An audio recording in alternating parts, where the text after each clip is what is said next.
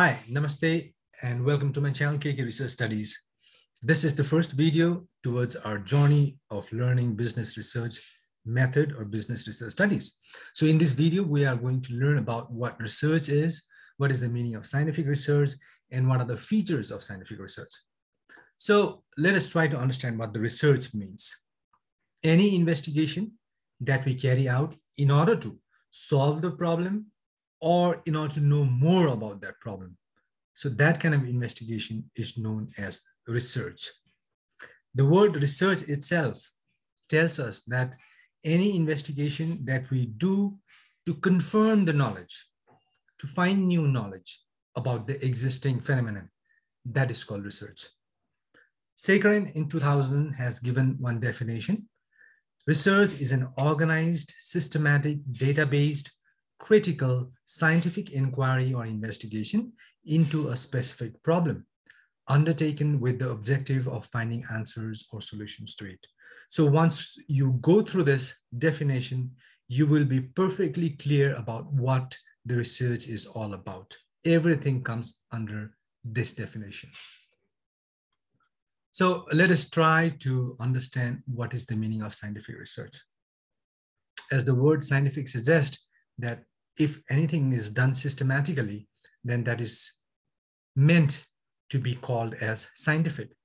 So scientific research is an investigation which is carried out step by step and which is carried out in such a way that the conclusion that we get at the end have can be explained logically.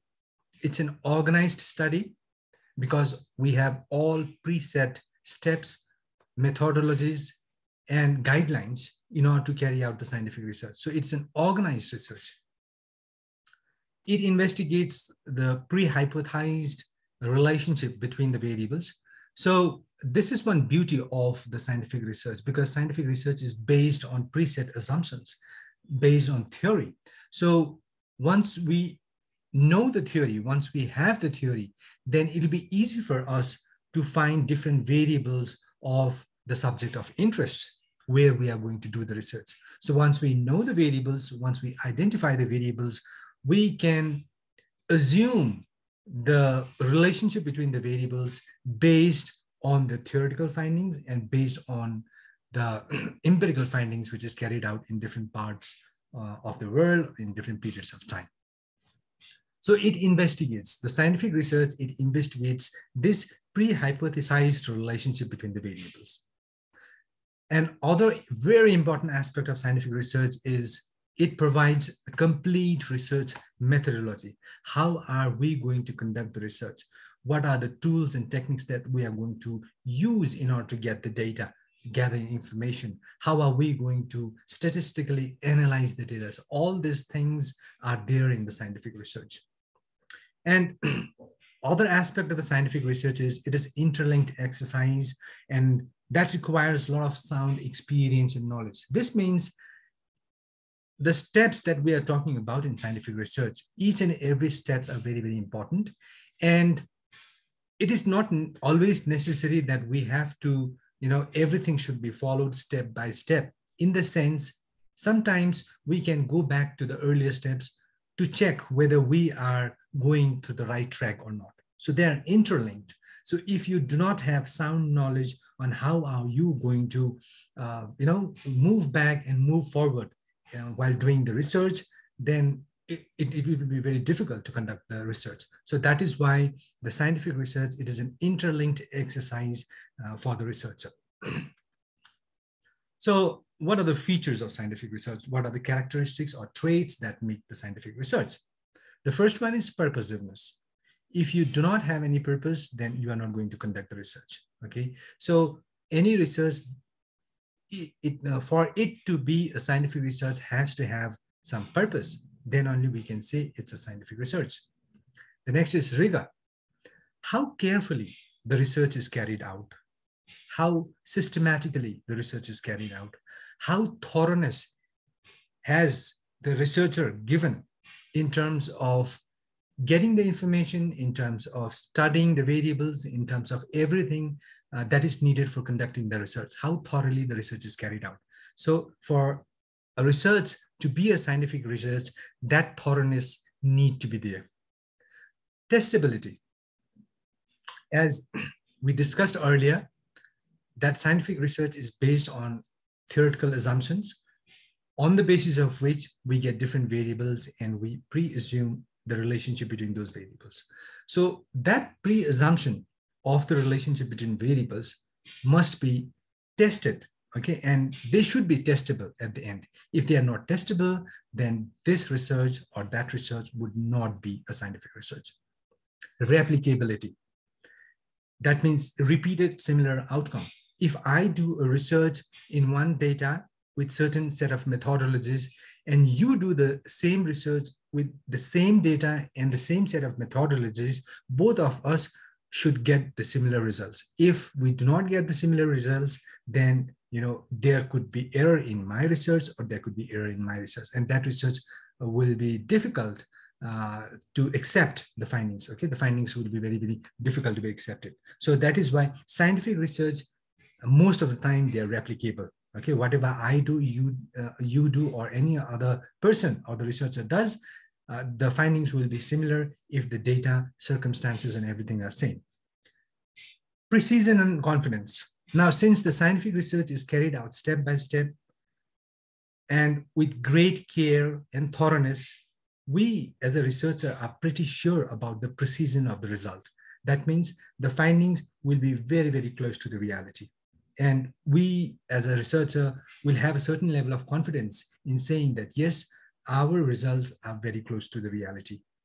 Uh, while doing or analyzing the data, or statistical analysis, we set the confidence level, like uh, let's say 95% confidence or 99% uh, confidence. So that is the interval where uh, with comfort, we can say that the findings that we have received or found is very close to the reality. So that kind of uh, confidence is always there in the scientific research.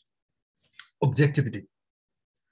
We as a researcher in scientific research is not allowed to involve our values or involve our feelings into the research. Our purpose is just to collect the data, analyze it, and whatever comes, present. So a scientific research is a research where the involvement of the researcher's feeling is not there. The involvement of researcher's values is not there. Generalizability, as we discussed earlier,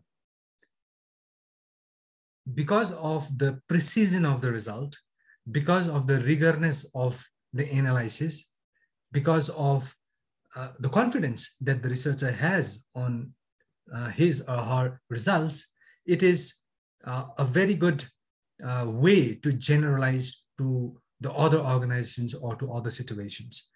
Like, for example, if I am carrying out one research in my organization, let's say, for example, I'm a manufacturing company of biscuits. So if I'm finding one result in my organization, then the other organization who is also manufacturing the biscuits may have, if, if similar types of studies is carried out, may have the similar results. So based on my results, I can, I can uh, say that yes, because that is also a biscuit manufacturing company or organization. So they may also have uh, the similar results that we have obtained in our organization. So that kind of generalizability is there in the scientific research. Parsimony. Scientific research is always simple, it is always logical, and it is always economical. Simple in the sense, we conduct the research, scientific research to solve or to get the solution to a problem or to add more knowledge about that problem. So we as a researcher, if we are not able to put our research in a very simple way, then the person at the other end will not be able to understand what we have done. So it should be very, very simple, systematic, and logical.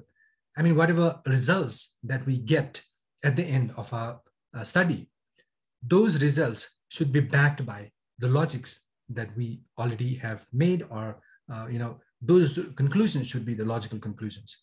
Without logic, we cannot say anything. And economical.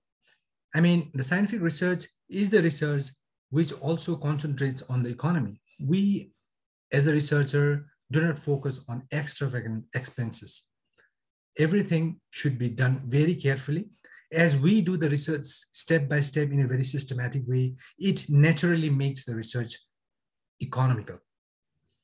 And there are more features or characteristics of the scientific research, for example, systematic, controlled, critical, empirical.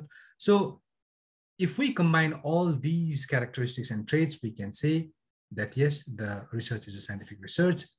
Otherwise, it'll be difficult to say whether the research is scientific or non-scientific. So I hope we have uh, obtained some knowledge on what the research is, what is the meaning of scientific research, and what are the traits or the features of the scientific research. In our next video, we'll be talking more about the research and other aspects of the research. So we are still in the introduction part of the research or the basic part of the research. And uh, I will definitely see you in the next video. Thank you so much. Namaste.